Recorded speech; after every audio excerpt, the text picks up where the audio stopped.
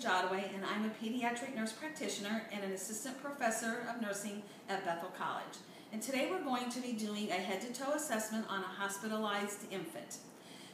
Our objectives for today are going to be the learner will demonstrate a physical assessment on a hospitalized infant. Second, the learner will utilize critical thinking skills when decision making regarding case studies related to an assessment of a hospitalized infant.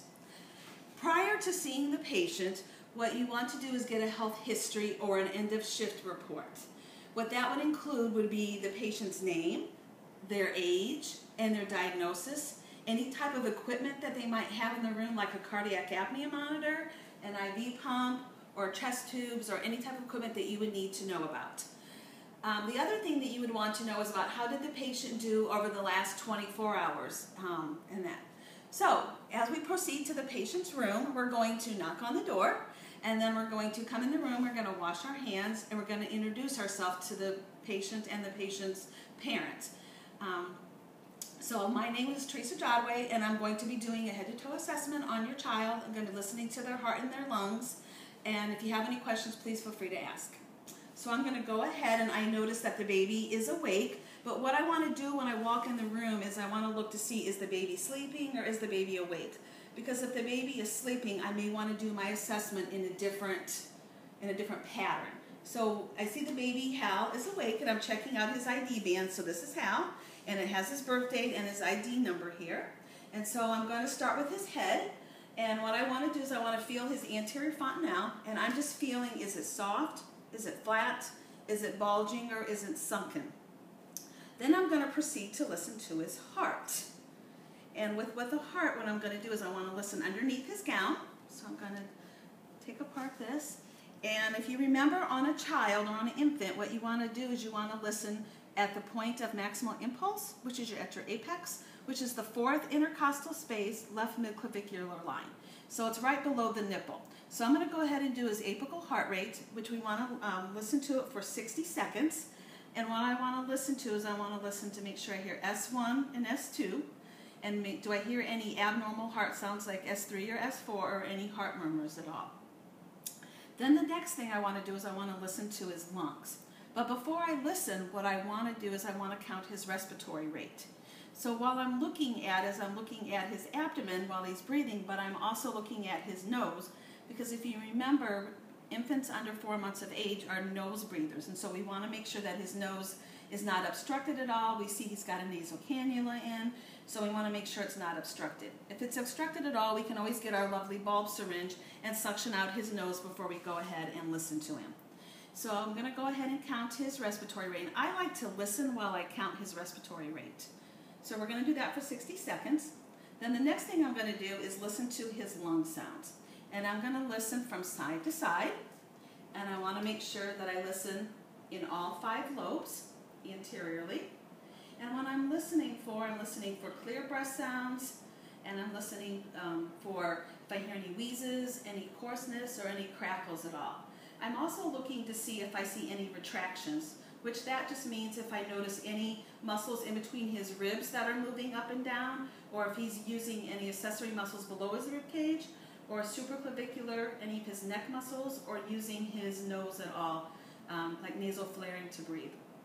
So I want to listen to the rest, to posterior, his posterior lung sounds. So I, you can either roll him over or sit him up. So I'm going to go ahead and sit him up. And so we're going to sit up, and I'm going to hold him here. And I'm going to listen posteriorly the same way I listen anteriorly. I'm going to go from side to side. And I want to make sure that I'm listening in all the lobes.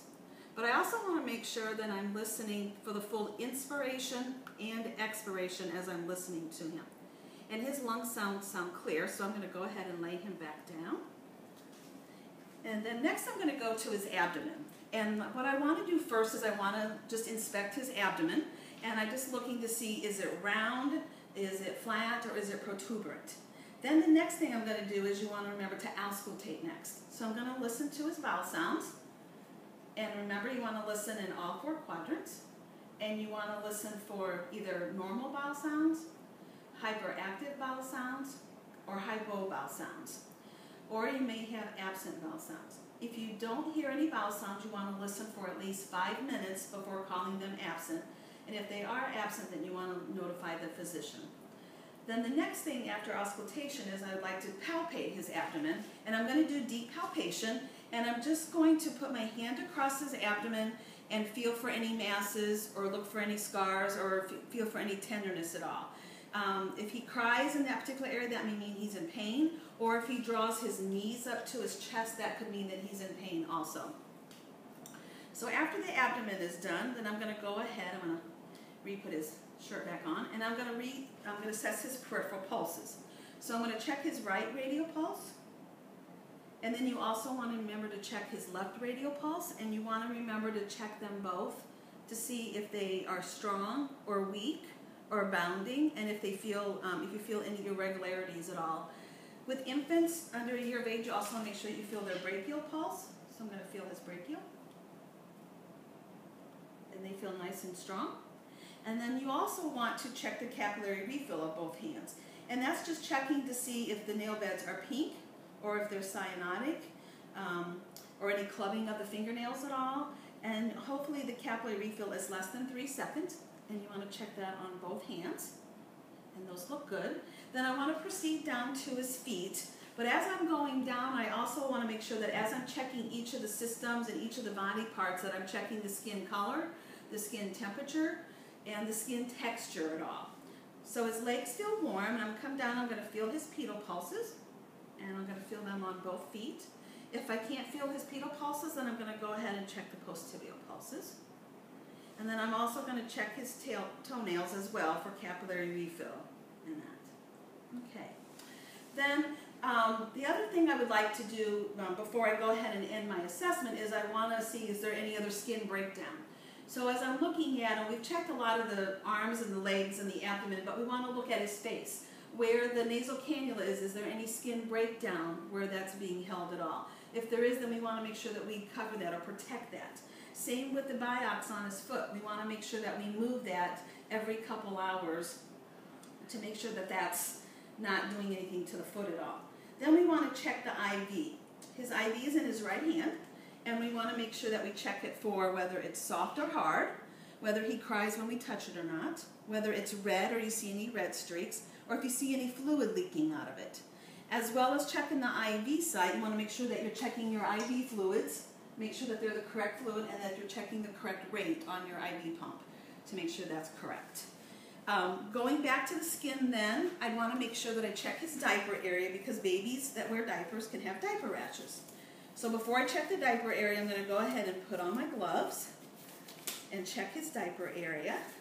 I can also check for urinary output while I'm down here, also for his stools, and we can also get him cleaned up as well for his diaper. So we're going to check his diaper and look for any rashes.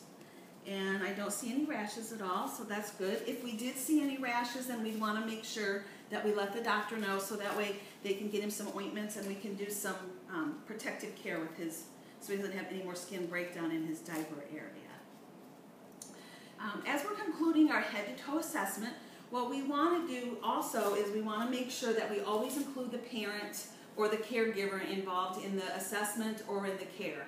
If they don't want to hold the patient while we're doing our assessment, then that's okay to let them um, put the patient in the bed and then let the parent go ahead and just sit and watch. They can use the restroom or shower or whatever they want to do while you're doing um, your assessment. The other thing that we want to do too is want to make sure that we check on our developmental milestones for, for our children. Um, Hal is nine days old, so what we want to do is we want to check does he have the reflexes that a baby should have. Um, can he hold his head up? As he starts to get a little older, can he sit up? Can he roll over? So we want to make sure that we're checking our developmental milestones. And the third thing that we want to do is as the child gets older, we want to make ourselves what we call user-friendly, making sure that they are not afraid of any of the equipment. So it's okay to let them touch the stethoscope or let them touch the blood pressure cuff or let them touch different things um, that that's not going to harm them so they're not afraid in that. Um, and I think that this concludes our head-to-toe assessment of a hospitalized infant. I want to thank you for your time and your patience and have a great day.